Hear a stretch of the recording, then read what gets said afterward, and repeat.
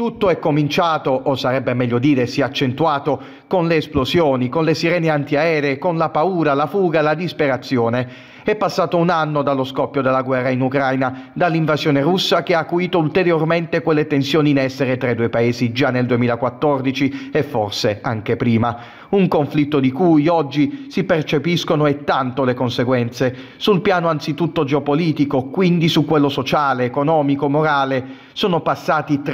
365 giorni, ma sembra soltanto ieri, e davvero pochi passi sono stati fatti in avanti per la pace, una pace invocata da più parti e a più riprese, ma senza che ci sia davvero una reale possibilità, reali passi in avanti. Da una parte l'aggressore, la Russia, dall'altra l'aggredito, l'Ucraina. Nel mezzo migliaia e migliaia di persone che hanno dovuto abbandonare la propria terra per evitare di morire, per continuare semplicemente a vivere, nella speranza di tornare un giorno è uno dei momenti più tristi nella storia contemporanea dell'Europa, perché era dagli anni della guerra dei Balcani che il vecchio continente non conosceva uno spargimento di sangue di questo tipo. Le ripercussioni non sono mancate in tema di sanzioni economiche, in rifornimenti di armi e aiuti e appoggio dell'Occidente verso il premier ucraino Zelensky, ma ad essere in gioco, prima di ogni altra cosa, è la libertà di un popolo che ancora non conosce pace. Donbass, Mariupol, Zaporizhia, Kherson, Donetsk, Lugansk, Bucha,